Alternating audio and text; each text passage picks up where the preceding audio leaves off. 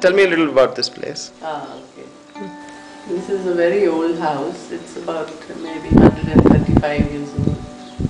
And about 100 odd years when we bought it. We've been here for 30 years. And we haven't had to do very much to it. It's a very strong old house. Hello, I am Anand Ramnik Singh and we stay in Coonoor. This is our house crossways to the right and the in front of our cottage which we rent out. It's a fully independent unit. We'll just take you inside and have a tour of the place. This is the veranda as you walk in and there's a TV here with a Tata Sky connection. This is the sitting area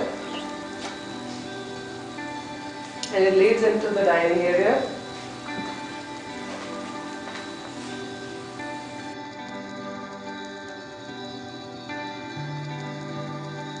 And there's a kitchen. It's fully equipped with the gas and basic cooking utensils are there. Here's one bedroom with a double bed and an attached bath.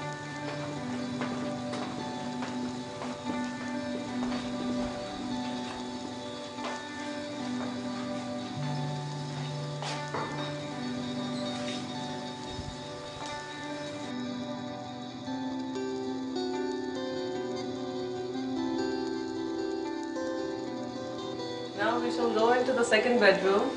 This has a child en suite and there's an extra bed that goes under it. And the second bedroom can accommodate three people. It has a double bed and a single bed.